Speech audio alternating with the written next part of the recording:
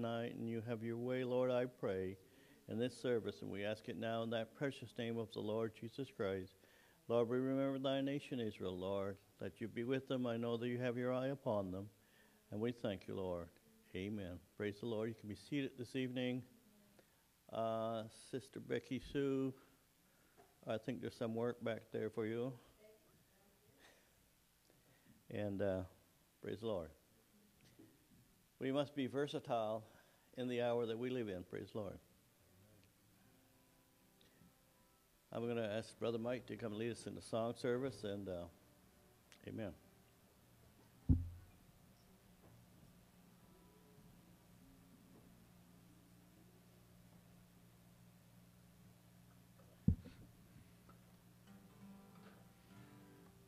Uh, number 69 in the blue book. and if anyone has a number, just.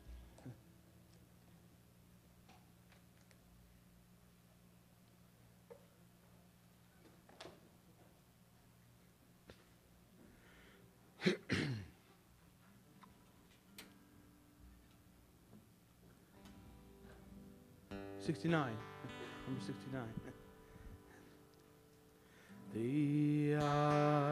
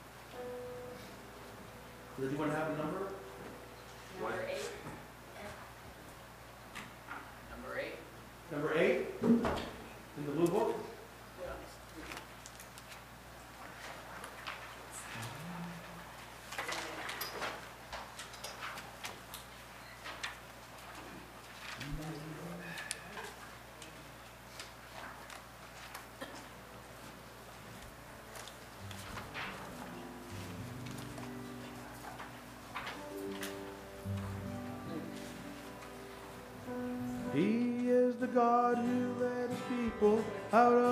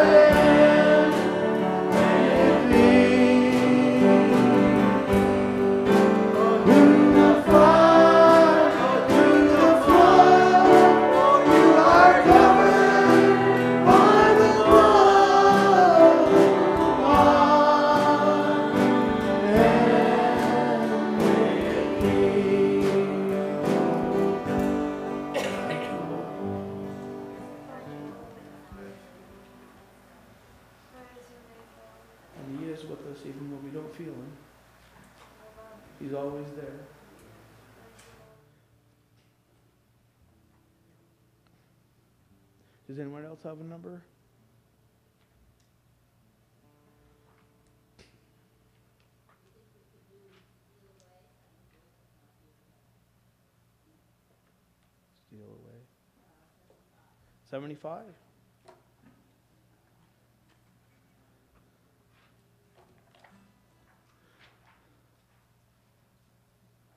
Yeah, I'd have to say Joyce probably sings that one better.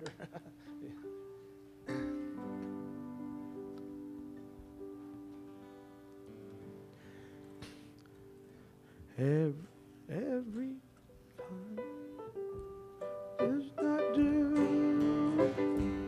every time should not say. Let me tell you what I do, and it brings a blessing too.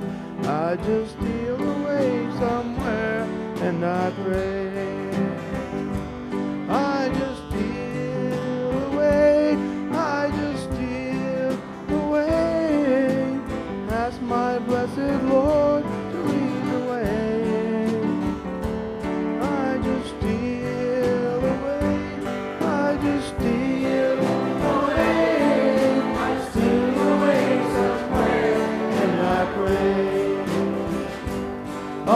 times I've nearly bound my head in shame. And some idle thought of lead along life's way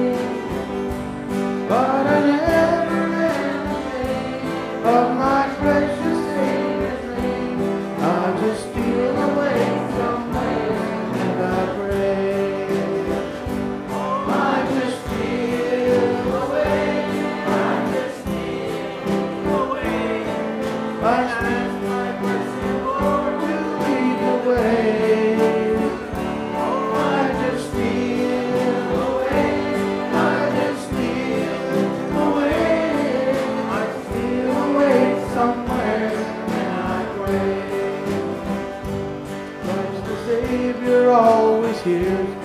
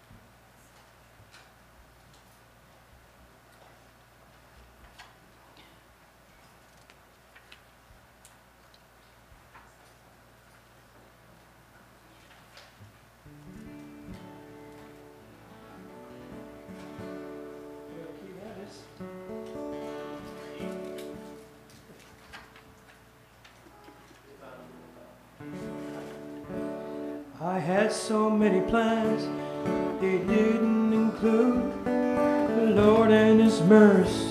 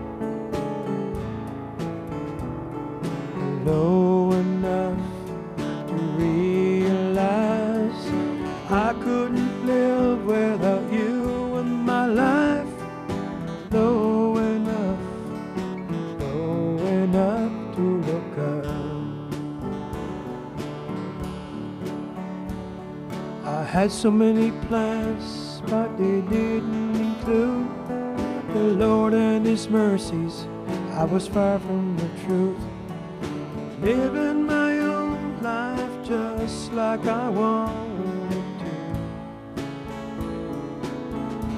Oh, but it didn't take long for me to see where I was in the bottom in need of my Father's. Desperate and broke, I looked up to the Lord above. I was low enough to look up, low enough to discover I needed a Savior, someone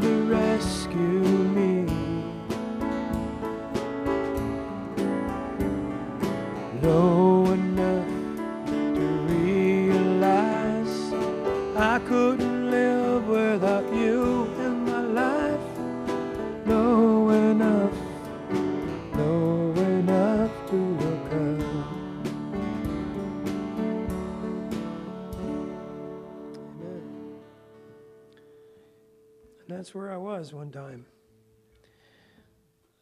I had to be so low that the only way out was to look up, and uh, and that's where I found him. Praise the Lord.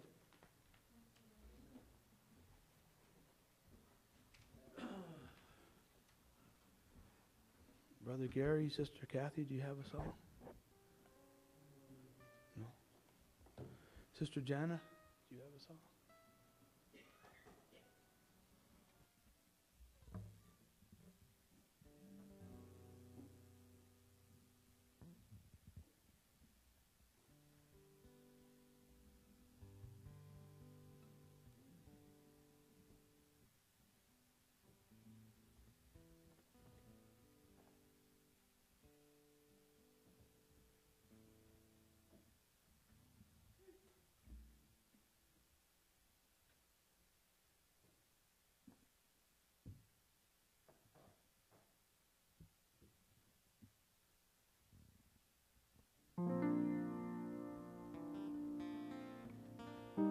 One day a crowd was gathered, watch the giant fight.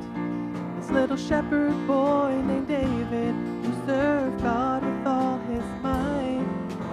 He offered great armor, but he chose a sling and a stone. He said, You come to me with a sword and a shield, but I come in the name of the Lord.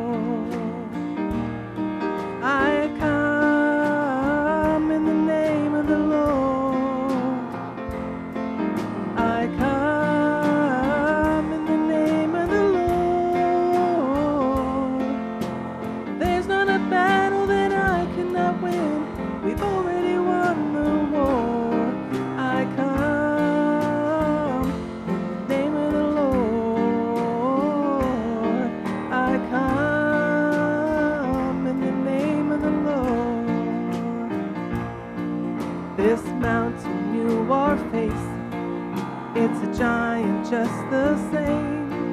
But again, he will deliver if you go in Jesus' name. The odds might be against you, and you might feel you can't go on. Just keep the faith of a mustard seed, and he will make you strong. Mountains will crumble,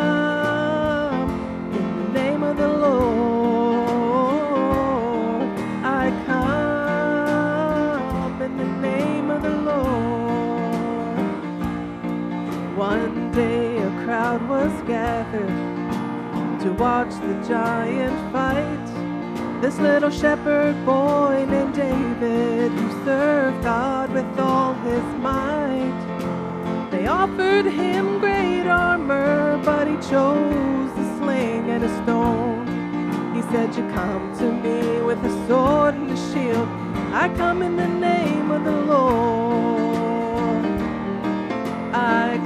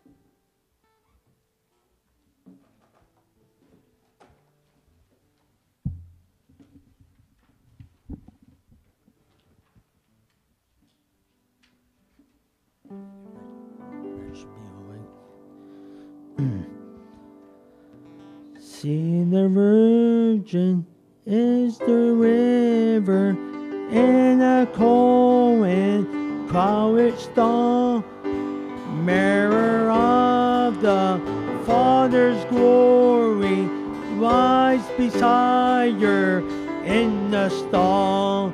Oh, he is mercy's incarnation, marvel at his miracle. for the Virgin Gentriosa, glorious and possible. Oh,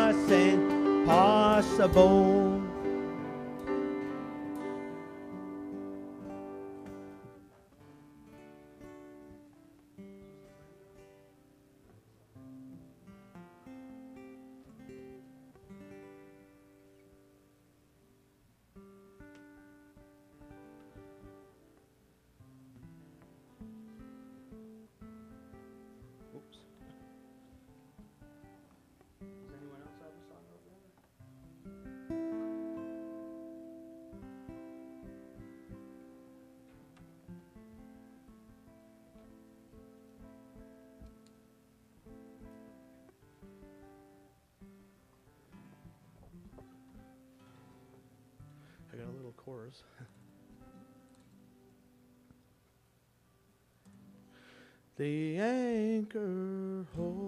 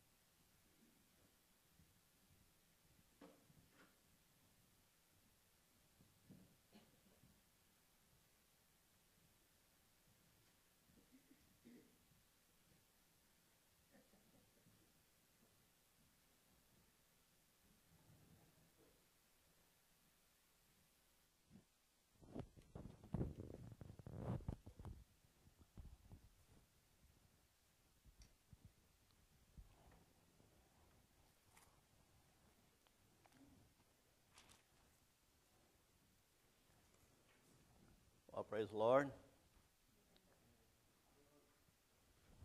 Truly, that uh, it's a privilege to know the Lord of the hour that we live in.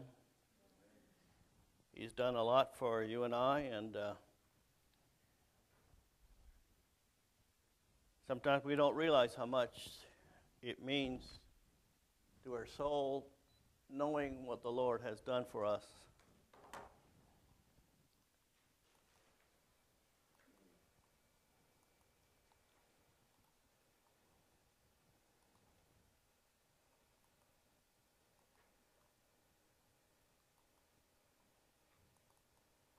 There we go.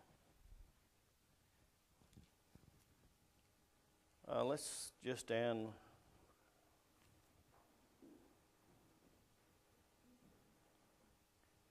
Heavenly Father, as we come to this part of this service, Lord, we are thankful that, Lord, just to hear your word, to hear your voice in the hour that we live in.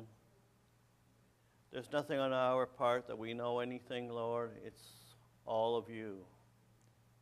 And Lord, we just are hungry, Lord, just for what you would have for us. And I pray, Lord, that you would watch over this assembly and wherever, or your word. I know you're watching over your word wherever it goes, Lord. But we're thankful, Lord. And now I commit this service in your hands in wonderful name of Jesus Christ. I pray tonight. Amen.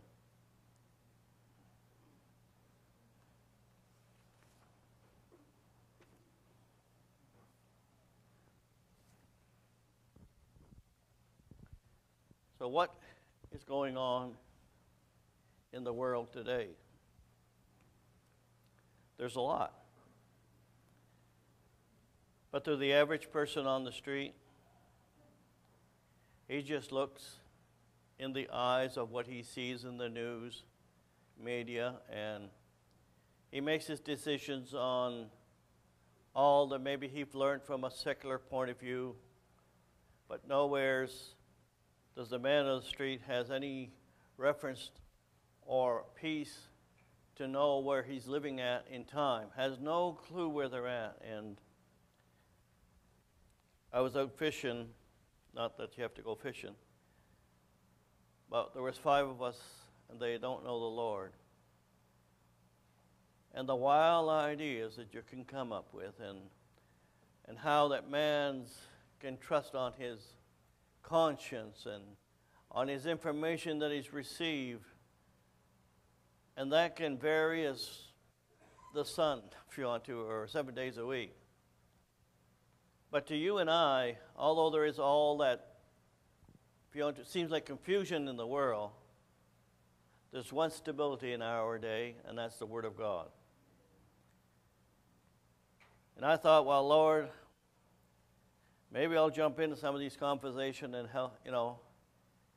But then when I look back and sometime when you're fishing alone on the on the bank and you got no fish biting and you, all you got to do is just think on the Lord, well, then you get to find out that uh, sometimes it's not wise to try to convert or to help someone along because if there is just argument's sakes for my point of view and your point of view, nothing gets done anyway. You, you can talk to your blue in the face, and I've seen two talk to in the blue face with different opinions, and it just doesn't go nowhere. So when the dust settles, nobody has changed their mind. Nothing can change their mind once a human vessel has decided what it wants to look at. It takes the power of God and His Word to make the change that we can see a proper picture.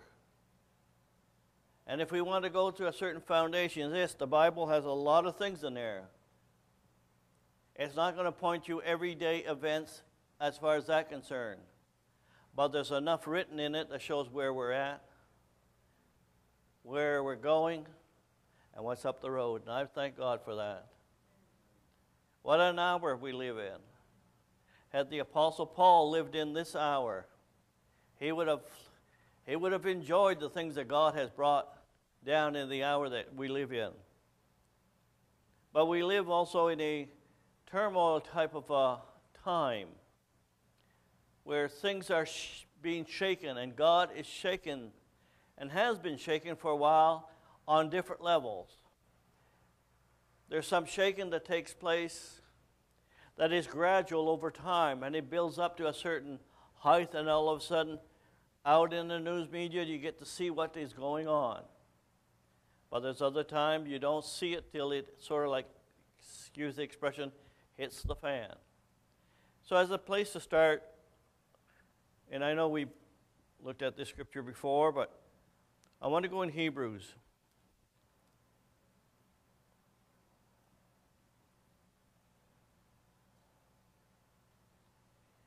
Now, when Paul was speaking in Hebrews, he was not talking to the man of the world. He's talking to believers.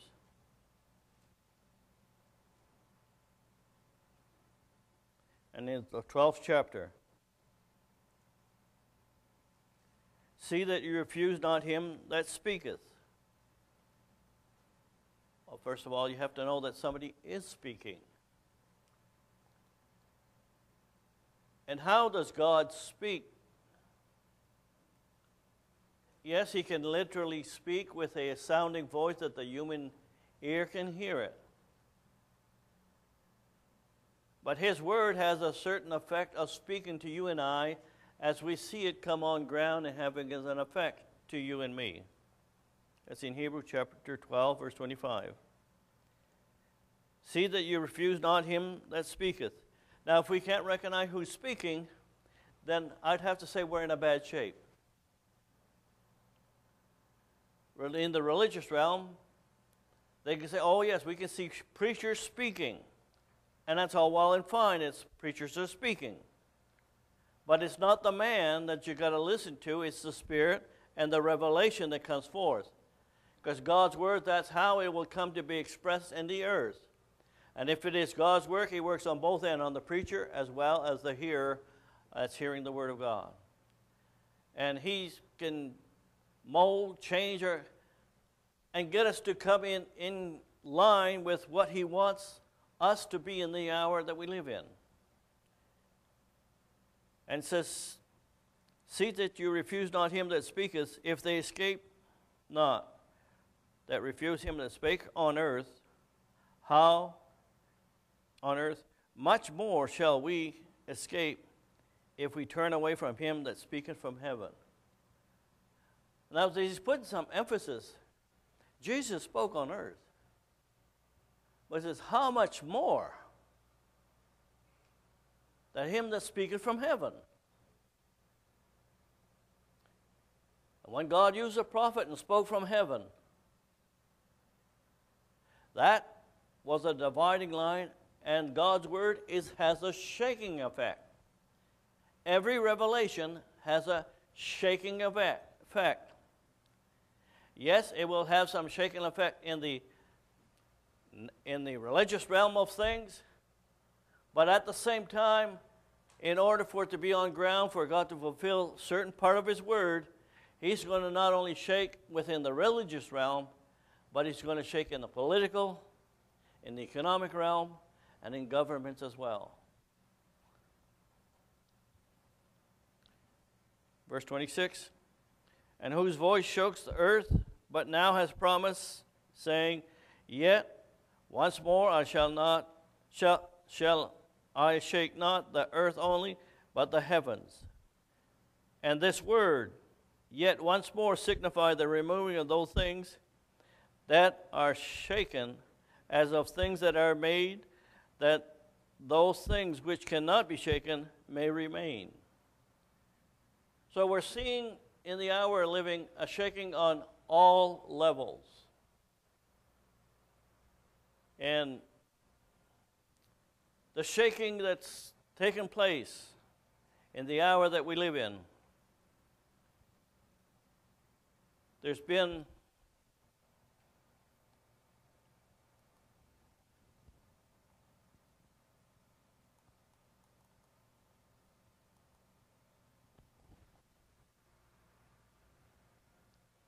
some shaking worldwide. When we're talking about our countries, there's a shaking or a, a movement or a something that has caused people to catch up a hold of a thought that like those in the middle class, they're discontented with their, their condition. And the average man will take so much, and he might not, he doesn't say overly too much. I know in politics in the past, you could make your vote known by voting things here and there. And it seems like every time that man turns around to the average man to change his situation, because he wants to be free as well as the Christian does, in the sense he wants to have a certain lifestyle. To you and I, our lifestyle is with God and what the, the God's kingdom is about. But the average man wants to live in a, a certain comfort as well. And so God has allowed this shaking to take place. It was a slow buildup over the years. How that it started out. I remember when I was young that mainly it was the men that was working and the women were staying at home. Now the average per- woman that was single, she, yes, she could work. There's no no qualms about that. But it was the governments that first started that wanted the to take women because they could pay them a much lower wages. So the government thought they would make themselves richer by putting more people to work to get more revenue. But they saw, they saw the short term and not the long term. Because now that started to break down the fiber of the homes. And as the men and the and women were working in the workforce, because when the women went into the workforce, greedy mankind want to pay them lower wages than the men were paying at that time. Instead of them coming up to the wages, most cases the wages of the men has dropped down. And the rich got a hold of that idea real quick. They, gave, they sold us all kinds of ideas concerning, well, we uh, will send the menial jobs now to the poor countries and we'll be rich by just knowledge. Well, it didn't work out. It was a ruse, all it was. And so the middle class has had it up to here.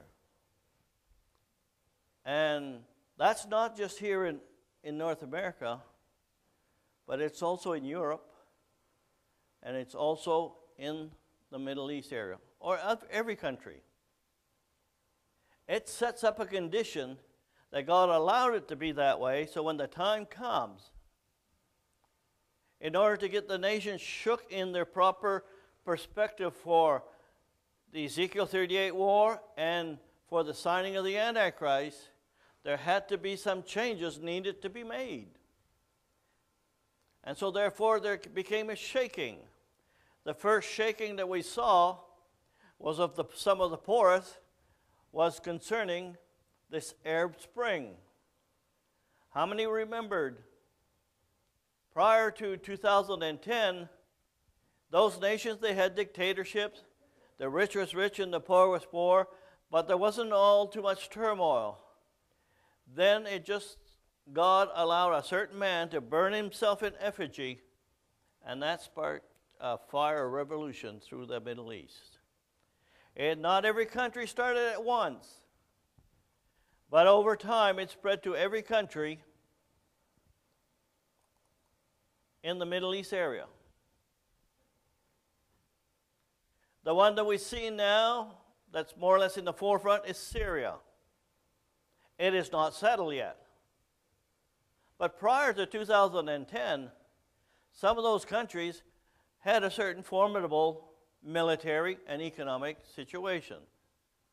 But when that fire went through a revolution called the Arab Spring in the Middle East, it destroyed and changed the, the makeup of those countries because it couldn't remain no longer having dictate, despots, and them ruling the nation. Because when the time comes, as the poor people wakes up that we want the same thing as the other people in the world, there's something in them instilled in them. They want us a system like they have, not that they want Christianity, but they want the same benefits as North America has and Europe has.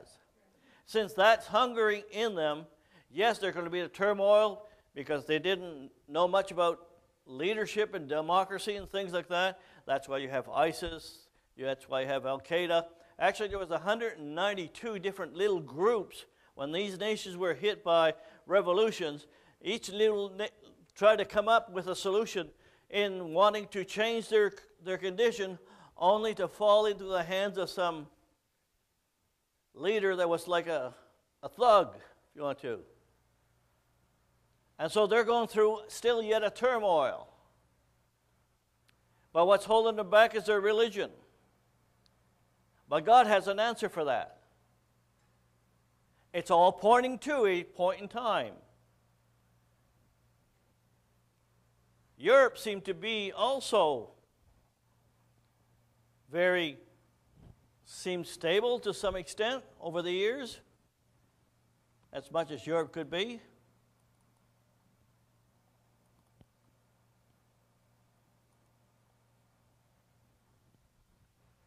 But there too, North America, at one time when our, our countries were developed, the companies sometimes would take care of their workers. But now, they don't think twice to get rid of you just for any reason. If I can make more money by getting rid of you and not caring about the people, the richer get richer and the poor gets poorer. And while it's not my, they, it's like, I'm not my brother's keeper, I, they don't care. That's coming back to bite them now.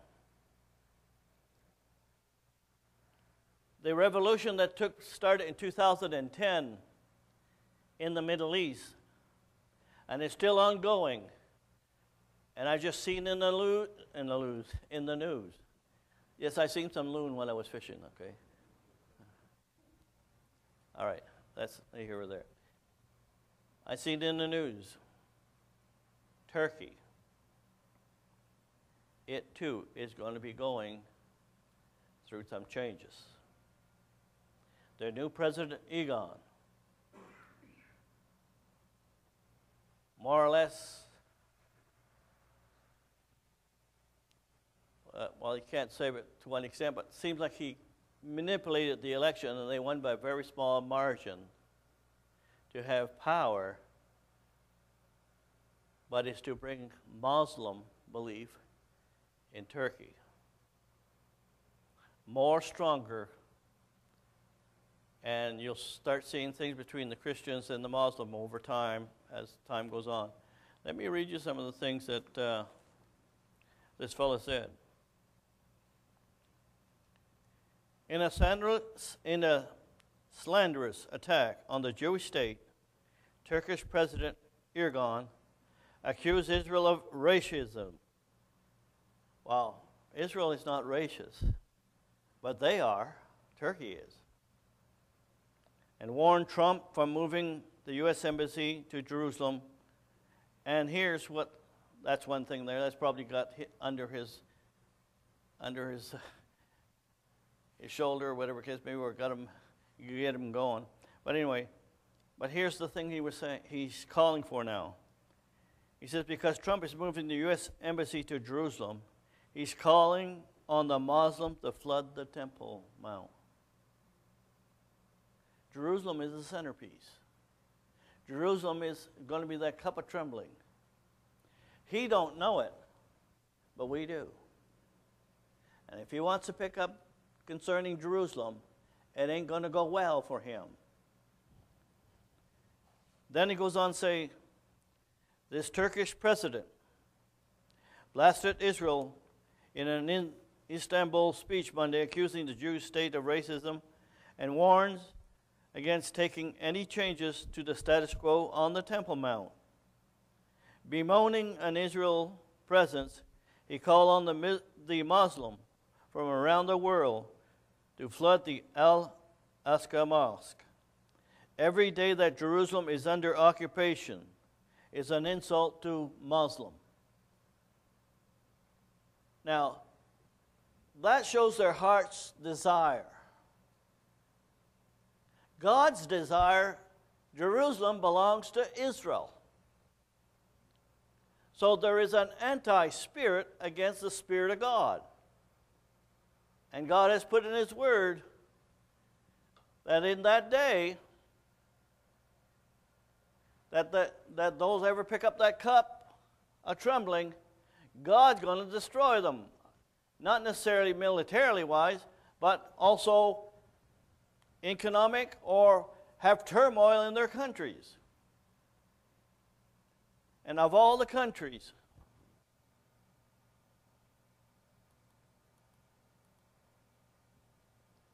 now it doesn't show here, but Turkey's right up the top here. When you look at Ezekiel 38 and 39, that Arab Spring fire that's been going through all old Middle East Muslim country now is touching Turkey, which is one of the last bastions to be of that group. And that tells me we're getting close to that miracle war. Because God has touched all those countries to put them in some sort of a disarray because when he gets Israel to start that miracle war, and Israel is going to start it, not alone, God's going to be on ground with the angelic beings on ground as well. And those Arab is going to be dealt with a blow like they never have been hit before. It's if that air Spring they didn't like the sort they were in, that was on the economic side of things but God's going to give them a blow on the religious side of things. Here's a God that actually is God. He's going to come on ground and he's going to vindicate that he is. And when the dust settles in that miracle war, all those Arab half brother and the Muslim roundabout that's involved in that miracle war, they will no longer protest Israel. Israel would be at peace. But Turkey is going to remain on the fringes of it because Turkey is going to be one of the countries that's going to be coming in Ezekiel 38 and 39. So it has to be made ready as well.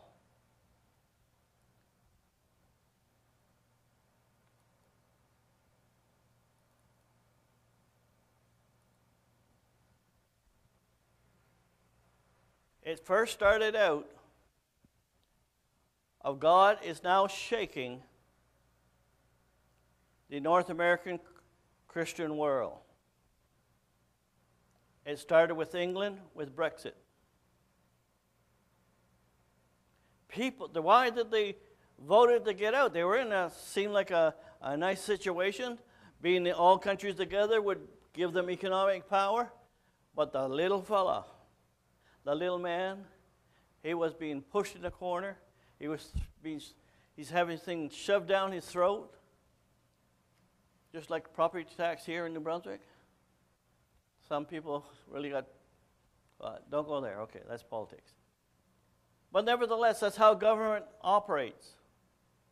But it's backfiring on them. The people voted, we want out of it. We are tired of you politicians. Doesn't matter which party we put in, you're all doing the same thing. Because the rich watch for the rich. And the poor, well, that's the middle class's problem. No sooner than it hit England, you had an election in America.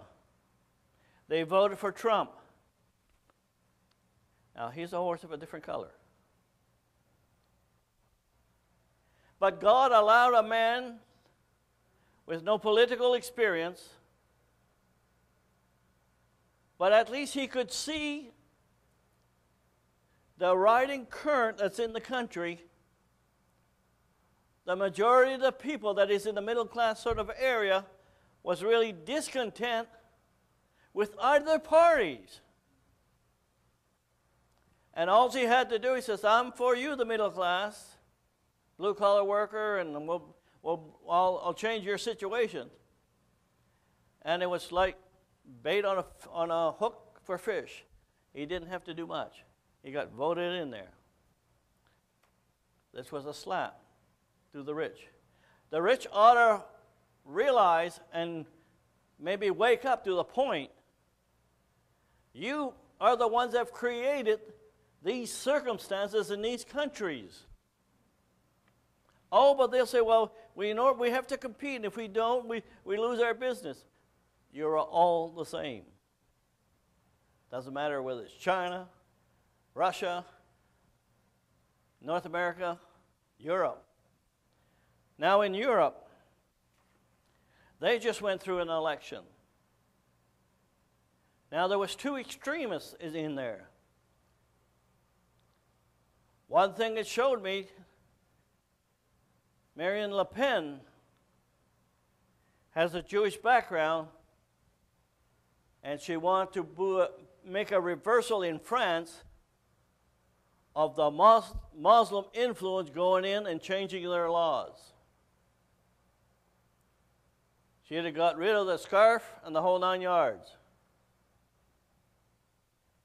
In other words, if you want to be, come to France, you have to be French and live by the French laws. But it was, she didn't win because she was too extreme on one side. But uh, Emmanuel Macron, he too was wanting to represent change. He's not of your formal government parties. And he's like Trump I'm going to drain the swamp. And he says here, in his inaugural Sunday as France's new president at the Elysee Palace in Paris, and immediately he launched into his mission to shake up the French politics, the world economics, and the European Union.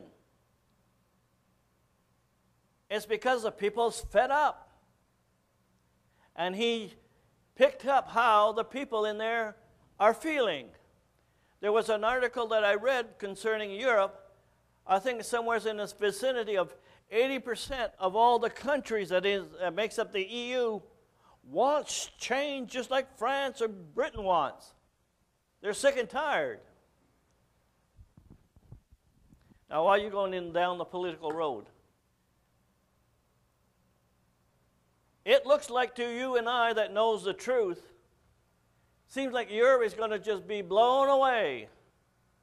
Forget it. It's just God allowing the scarecrow, but He wants to make some changes in the mind and the situation. So when the miracle war and Ezekiel war finishes, then those people of the that forms the head of the beast will be made compatible with the people that forms the body of the beast. God knows exactly how to run things and allow things to take place. So he's shaken these countries. As that is taking place for their economic situation, that keeps popping up. I gotta tell Avast to stop that. Well, there, get rid of it. It just wants to stick around, I guess. So, as God is allowing that to shake up, and in talking while I was fishing those that were there, I don't want to mention names, they were concerned about North Korea. I can see there is a concern. He's got some nuclear weapons but he doesn't have a delivery to send them. He's working hard to do it. This is causing America to come in and Trump to make the gesture he did.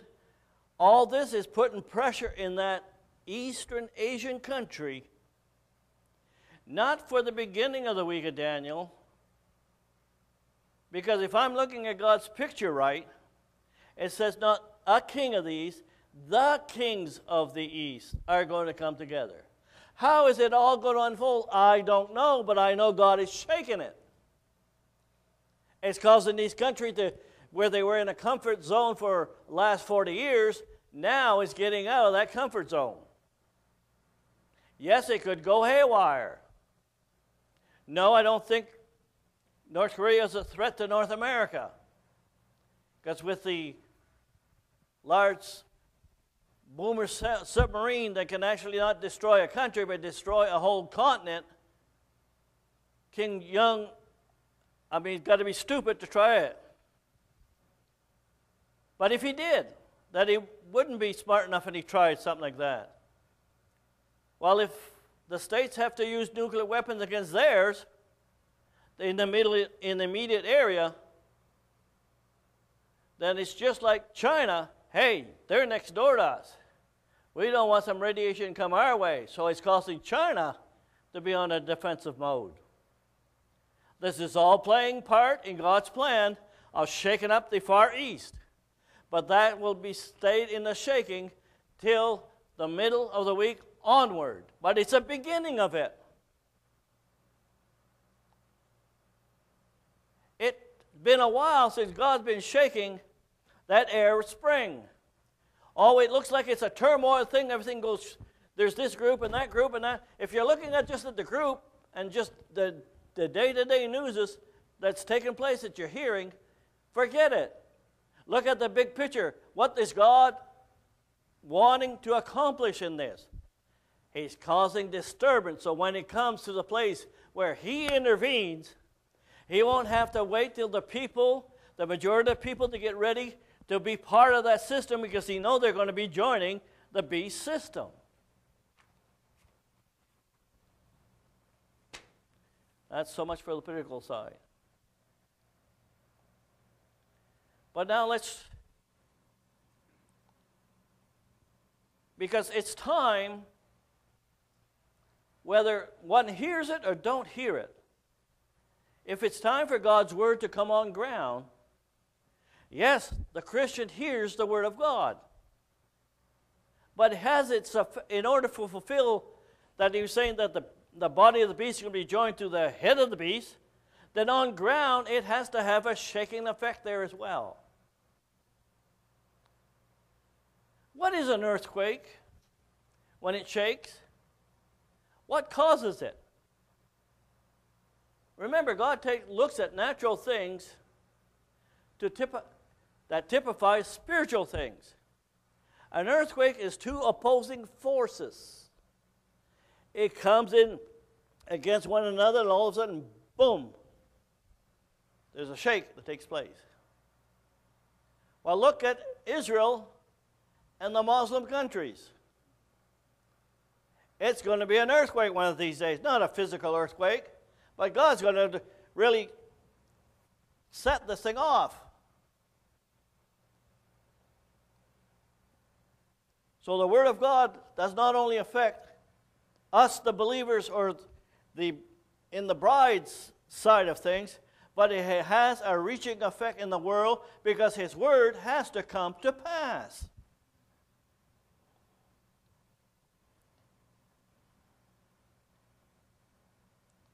When I look at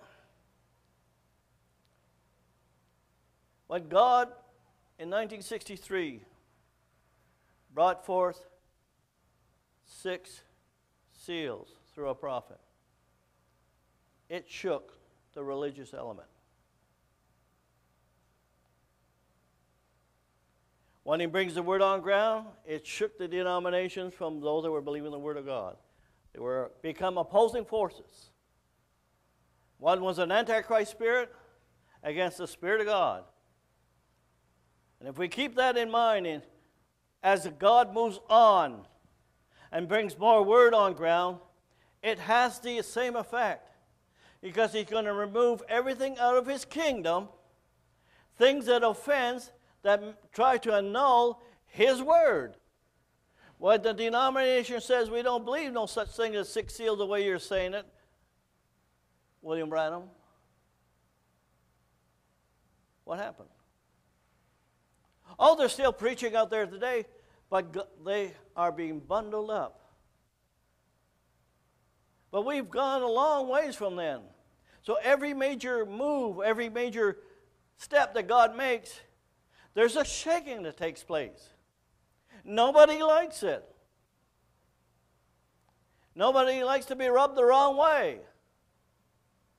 But there comes a place in time, if Brother Branham said, well, uh, it's going to offend the denomination, I think I'll hold back on this, he'd have paid the price. And then the time when Brother Jackson came around. Yet, it was not to the denominational world. Now, God has brought us into that door of Matthew chapter 25, where He's instructing an element that should have been around the message to coming into the bride. And the tares, now here's something. And the door was shut and the bride went in. Yes. But when the door was shut, it shut to the foolish virgins. The revelation is shut to them. They're not going into the door even to find out. But tares tagged along. They are not giving a revelation. Because if the door was shut in 19, around 1963 to the foolish virgins, that means it's just pure seasons. So walking around, everything should be fine. But not everything is fine. God tries each generation, each move by His Word to see if we're following flesh or if we're following what His Word that He's bringing on ground.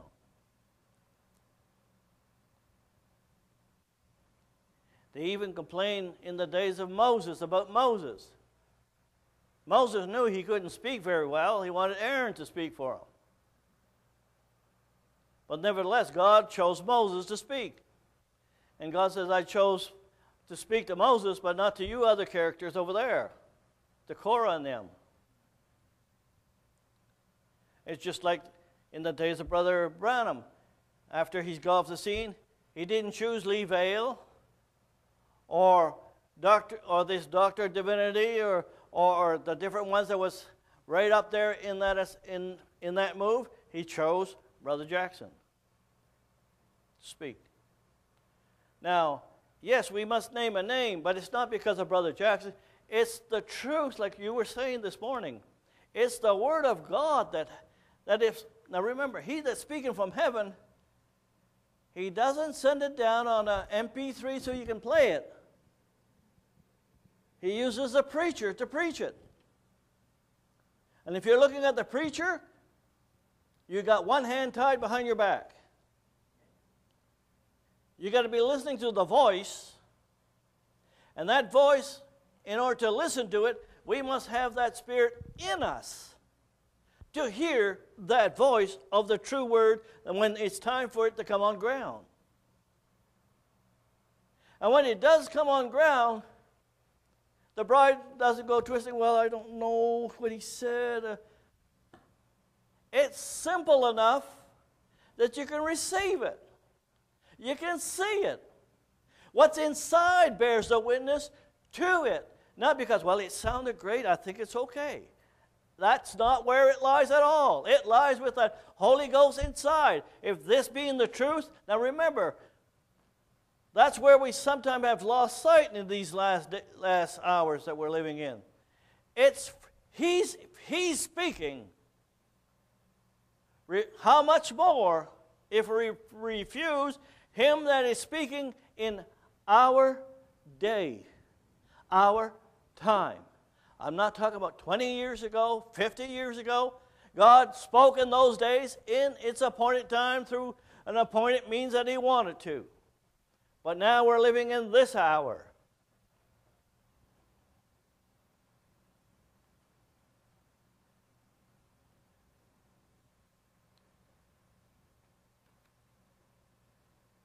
Sometimes you feel, not that you go by feelings, but something the Lord brings down a beautiful revelation.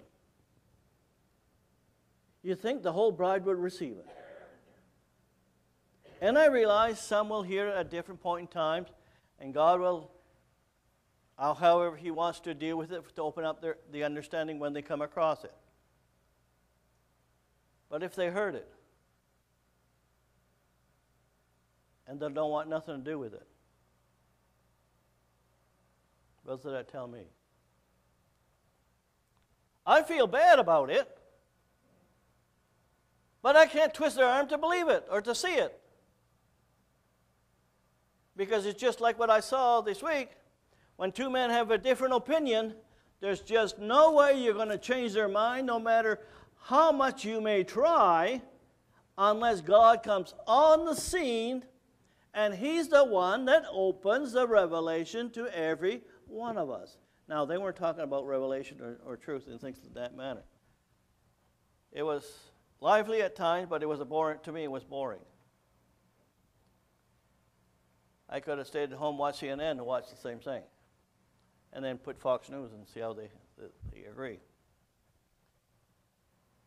But this is the hour.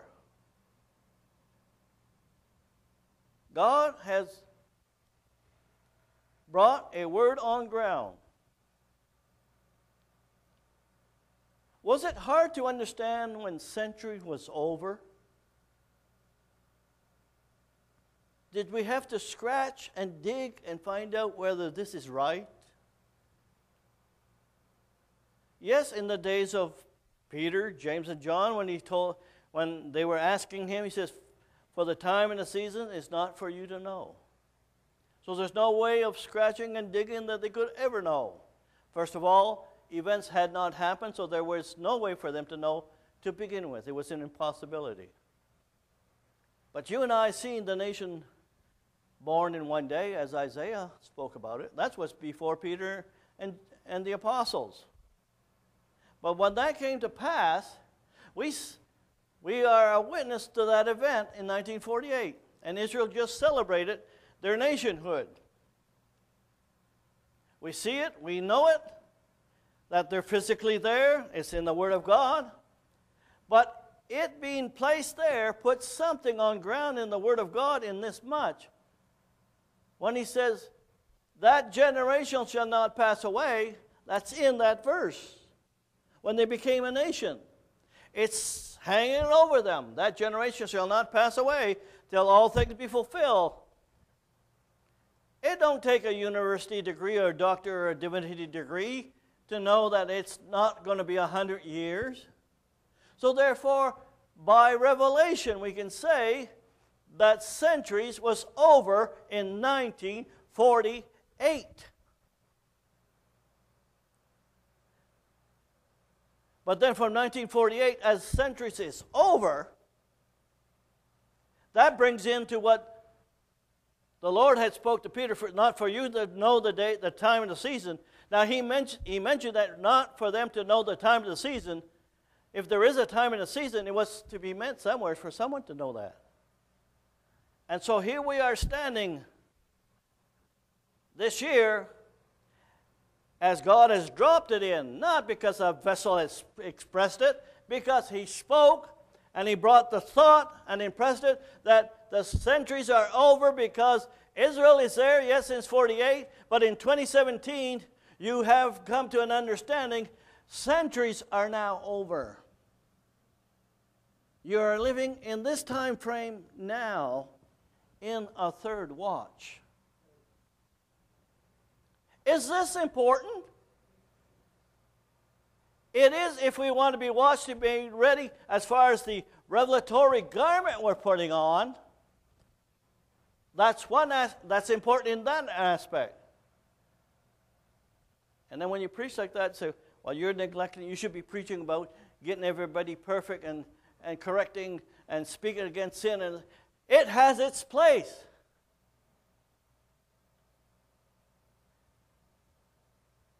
If you heard how to live right a thousand times, will a thousand and one time do the job? It's not on how you hear it a thousand and one time. It's the Holy Spirit has to speak to you and I. If we knew it from the, the tenth time, then it's in between the individual and God to get that part right. And me hammering it over and hammering it over. Hammering it over is not how God does things. He makes the change from inside. When we come to realization it has to be made and changed inside. And if we're as near as we are looking at tonight concerning till the bride and the rapture comes to that rapture, as we get closer and we see one major event coming on ground like that miracle war, I guarantee you there'll be a lot more people here in the evening than there is now. They'll be scared. Why? Why should you be scared? If you've been made ready, and if you've been working with the Lord to get yourself ready as far as your inner man, there should be no knees shaking or, or, or trembling. Well, we got, we, we, we got a cram to get, to get in. We, we have to make it. That's the inner man. But just as important, well, you know, it's just another revelation, just another one sounding off. If God is speaking, that's just as important getting your life lined up.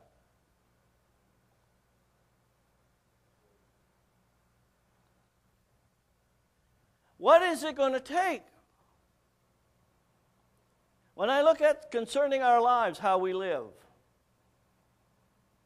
and I'm not going to go around and says, "Can I come to your home, look around, since and nosy around, see what you're doing, and what you got there around your house?" That's the la- last thing I'd ever want to do. But he that looks and sees everything, he's there. You have to answer to him, not the preacher. That's where it belongs. Are we so absent minded that we forget from Sunday to Monday? Oh, well, I don't know what he said, but uh, I'm going to live my life. Oh, yeah, everything's fine. We're just, we got the more important thing to do. God takes the last place on the burner. Well, there's this show that I kind of like. It's not a, a, a, dirty show, and it's a documentary, and, a, and I can watch it, uh, these things till midnight and give zero time to the Lord. And we say we love Him. Right? That's when we say we love Him from that aspect, it's the human heart that's saying we love Him. We got to learn to differentiate between the human heart of, of love and the love of God. The thing in this generation at the end time, we don't like to sacrifice to do things. Yeah. If there's frosting on the cake, everything's going fine, everybody's, we have a, an anointing service, my, oh, I want to be there. But then God sometimes allows things to be a little quiet. And what is actually the Lord is saying, I want to see if you really love me.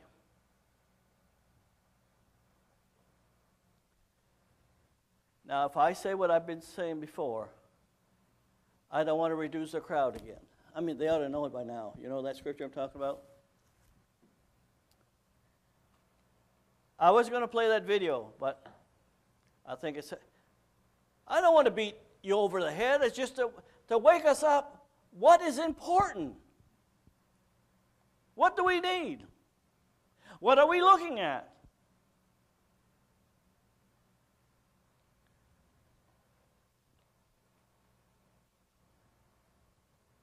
That song will be somewhere looking for my, for my name. If all I know is just that there's supposed to be a half hour silence, well, in that half hour silence is that judgment seat. There's that scroll. He's not going to whisper you out in the bush. I don't know where's uh, where, hey so and so. No, the bride will be in an atmosphere that she can hear her name when it's called. If I was to call tonight, somebody from Vancouver, please come here, you think he'd hear me? My voice can't travel that, can't go beyond these walls. But you have to be in the milieu of where it's happening and your name is not going to be called because you're in the woods somewheres or, or, or in a forsaken place. You're going to hear your name where God is getting the bride ready together. Oh, how this bride has to work together.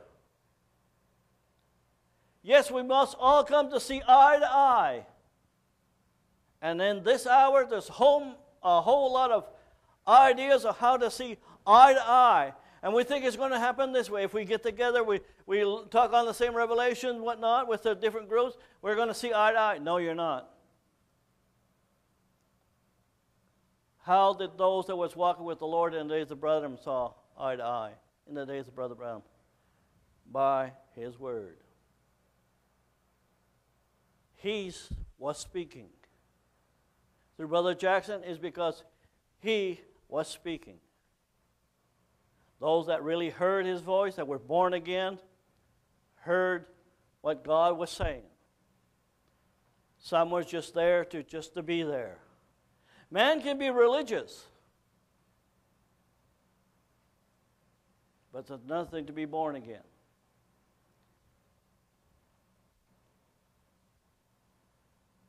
And so when century was over, well, associated with centuries is decades. And as we, and that brought more attention to the Word of God now of Matthew 24, verse 32 that generation shall not pass away when you see the fig tree put forth a branch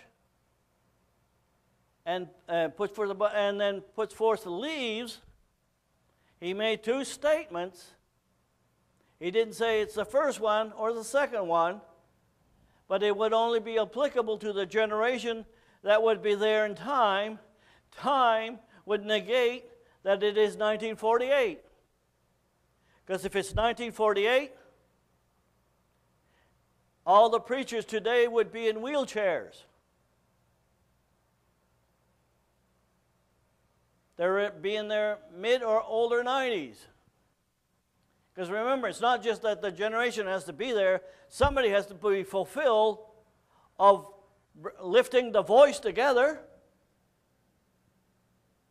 and they should be, and this has to be a generation that still have enough uh, people in there that can be ministering.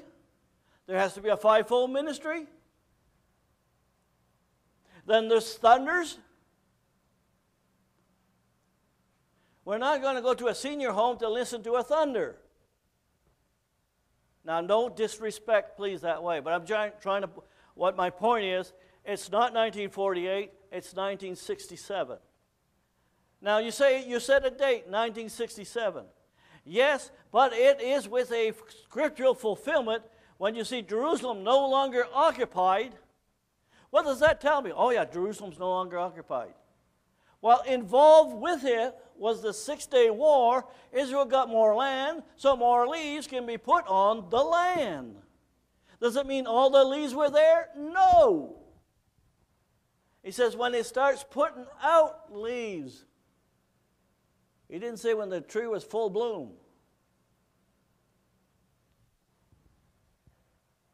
So, what other scriptural event they could use concerning putting forth leaves? Yeah, well, Brother Fred, what about Ezekiel 38 and 39? That will be full blown because all of Israel will be coming back after the Ezekiel war. So that's not the putting forth of leaves, all the leaves will be back. Yes, not the next day that the war ends, but within that immediate time frame. So we're living in decades now.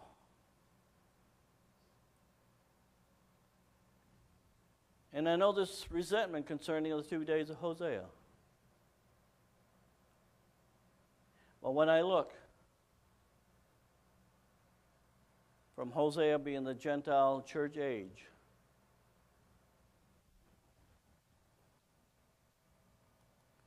and you look at other events as well,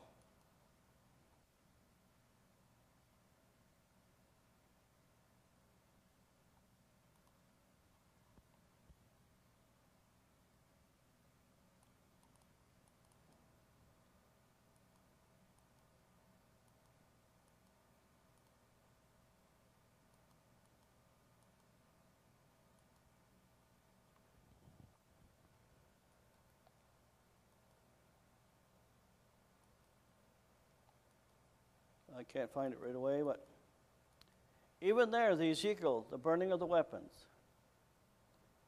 We are in 2017 right now.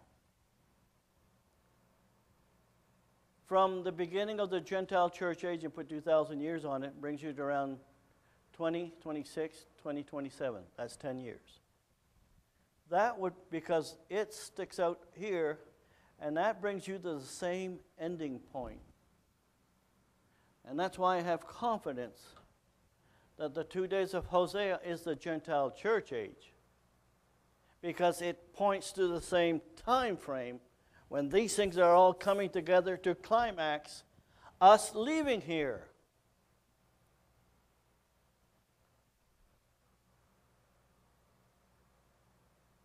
And if that's bringing us to a climax of leaving here, brothers and sisters, if it's longer than 20, 26, 27, I won't be preaching then. Either I'll be in the grave somewheres, or I could be in an old people's home pushing a wheelchair. And that won't make fulfill the part of that to lift up the same voice. Getting back to the Gentile church age, yes, because of history, we don't know if it's 53, 54, 55, 56, 57. It's a space of time. God allowed it to be that way. So you and I can, will say, well, oh, if we know exactly the year, let's say it was 56 on the sixth month, at the third day. We would calculate to the day and we would get lazy to the last minute. That's how we are, that's how fallen mankind is. Those that would, doesn't have the Spirit of God, that's what they would do. Look what they did in, in the days of Brother Branham when he's talking about that they were getting nearing of the coming of the Lord. Some sold everything to sit back on their back and waiting for the Lord to come. God never wanted us to do that. And because what I'm saying this morning, uh, morning, I'm sorry, it's the evening, right? They say fishing is easy. I was more tired than doing some work. I don't know why, but I got home and that's why I asked Brother Ray to minister this morning. I was really dead tired. Still reviving a bit now, but anyway, okay, that's beside the point. Um, so, anyway, getting back to the same picture, we are getting to the place that we know about when that time that it should be fulfilled. There's enough time for these things to be to fit in here. Is it like the same things we were looking at lately? If we all come before the judgment seat of Christ, you cannot put the judgment seat of Christ before the seventh seal is broke. And if you're listening on the internet, you want to know why? It's because not everyone is in. Because in that day, he's going to judge every one of the bride in one place on that period of time. The judgment seat of Christ has a one event. It's not a one day or one hour event. So the judgment seat of Christ cannot happen before the seventh seal is broke. Because if he judged everybody else, and the, let's say there's three years left and still some bride in there, and they didn't get judged, oh, he's not going to say, well, I forgot about you guys there. I think I'll do, I'll do them later. No. So it doesn't fit over in the grace age. Yes, judgment begins at the house of God, but that's not the judgment seat of Christ. It's one day, an event.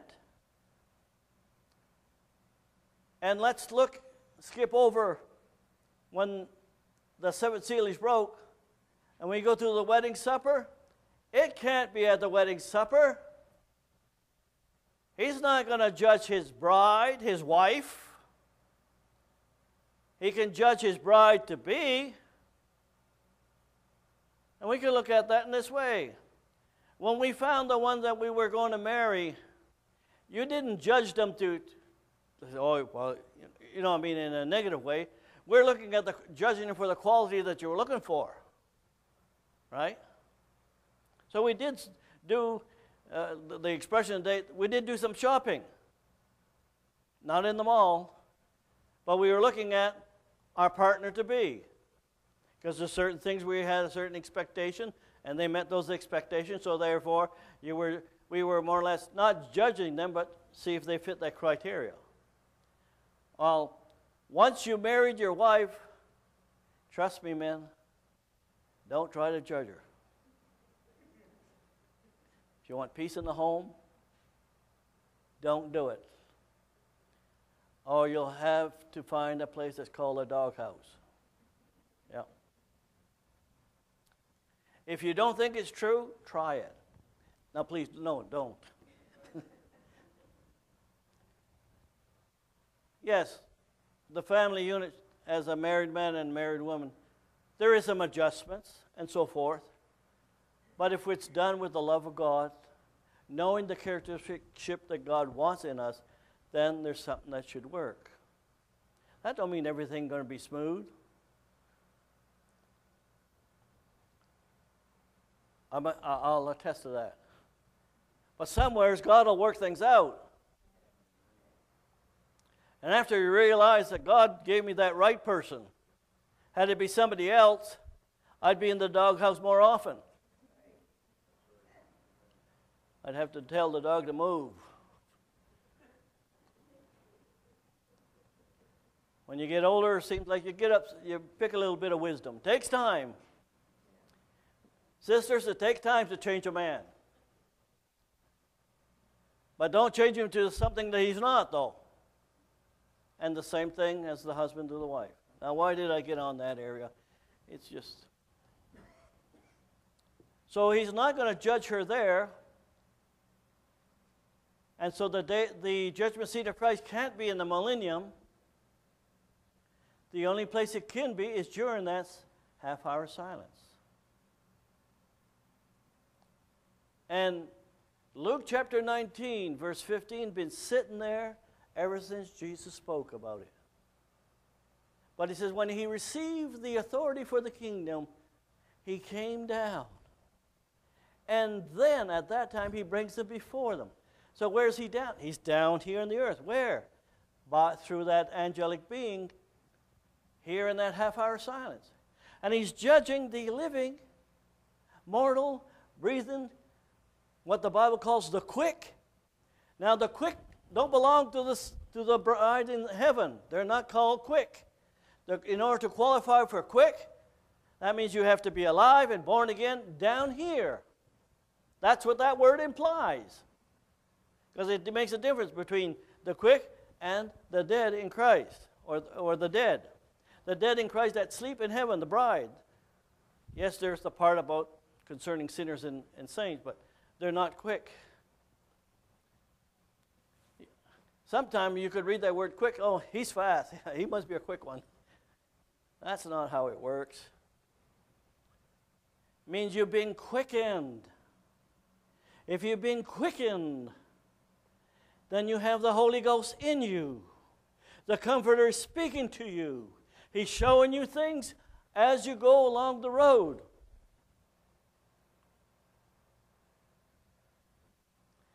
And you don't go looking at, well, okay, we got so far. Let's see, uh, oh, yeah, I'll take this and I'll put that together. I'll try to put something out there. It don't work. First of all, I hate the wanting to do that to begin with. But if God sends something that's fresh, it may start as a thought somewhere, and the next you know, it leads to something else, to something else. He's the one that's speaking.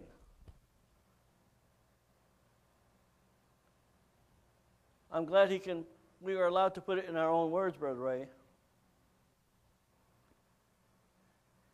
Otherwise, we'd have to say, take notes. Lord said this, Lord said that, and then we just would read it out. It's not how you read it out, it's how, if you have that picture that revelation in your bosom, it takes that, it illuminates that word. Oh, how beautiful when the revelation comes in. Do you feel sad when you got saved?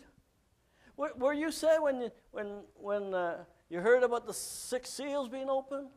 Or, or the first resurrection was done in three parts? Huh? Did you have a Blue Monday when you were hearing those things? No, he might have not understood every detail. And it's not for everyone to understand every detail, but we're seeing the same picture. There's 30 fold, 60 fold, and 100 fold. Well, it's not fair. You made me 30 and he's 100.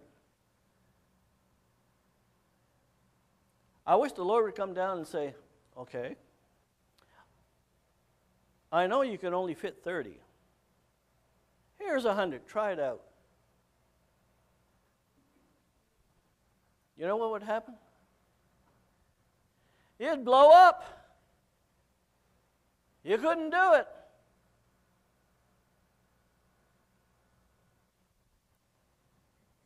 God is the one that made us that way. And we have to respect what He's done. But Lord, it's not fair.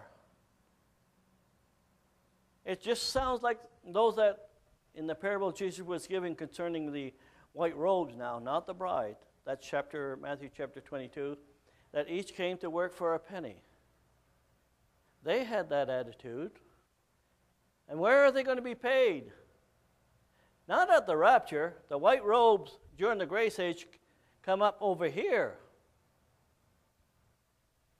And he says, Bring the last ones first.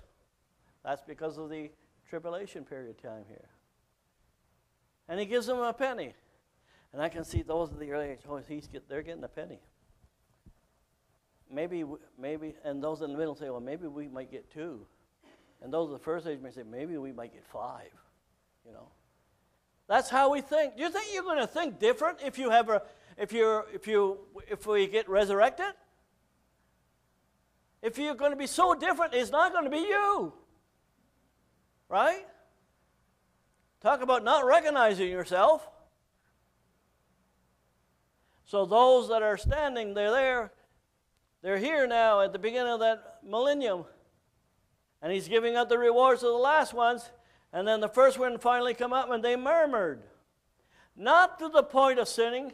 They could not lose their eternal life because they had white robes.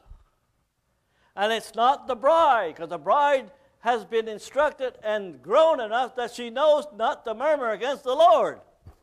Bingo. Uh oh, overtime again. Okay, had enough for today. Praise the Lord. No, but I'm glad that God has opened up some of these things concerning this space of time here. That Luke chapter 19 opened up concerning the judgment seat of Christ. Because all we knew before, there was going to be a judgment seat someday, somewhere, somehow. But we didn't realize there was a part that that angelic being, it is Christ operating through it to the living element that's on the earth, and the literal Lord Jesus Christ is dealing with all the deceased saints. And it won't be a surprise to us. Let's say we come in in a half hour and we don't know this. And then all of a sudden, hey, we're in the half hour silence. We're at the judgment seat. But look, and then the first question would come to those that don't have the revelation would in their mind would be, well, what, what about all the deceased saints when you when you judging them? Well, had you been following the revelation all along, it wouldn't be a surprise to you. That day will not catch you unaware. Not on basic salvation, but on your robe of fine linen. Because if I have missing some, it's like having a little mini skirt. Your revelation is not complete. It'll show your knees. I won't go too far there. But what I'm trying to say, the revelation is not complete. Because the revelation that we put on that fine linen is the revelated Word of God. It is part of that garment. That's why Jesus says, He didn't say, well, it'd be nice if you watch. He says, pray and watch. I could come in the second watch or a third one. Now, he's not playing tiddlywinks with him. try to guess which one it is. Huh? He said it for a purpose. God allowed it to be in His Word for a purpose. If He said there's a second and a third, it's because there would be three watches. And only in the time that we're in now in the fivefold ministry that we understand what are the three watches pertaining to. My goodness. Uh, I better stop. I, hey, I, it must come with old age. No, I, I should remember what my professor told me when I was in high school. He says, I could keep you here an hour and a half and fill you with all kinds of stuff. But he says, the only thing you'll remember is the first 20 minutes. After that, it's going to be just a blur for you. Unless it's in interesting. So he would only put out a lesson for 20 minutes. Oh, he was great. The 20 minute was great, but what came after I didn't like was the homework. All right, putting all those jesting aside, let's just stand and look to the Lord this evening. Lord, we're ever so thankful, Lord, you're mindful, Lord, of each and every one of us. Lord, we don't know what you may have up the road, but Lord, we have to wait on Thee in the right time, in the right season. And Lord, we're ever so thankful for what you've given us thus far. Bless my brothers and sisters. Give them traffic mercy on the highway. Bless those of us listening by the way of the internet. In the name of the Lord Jesus Christ, I pray. Amen. You're, it's Mother's Day, so you're free to go. For all the mothers that are here.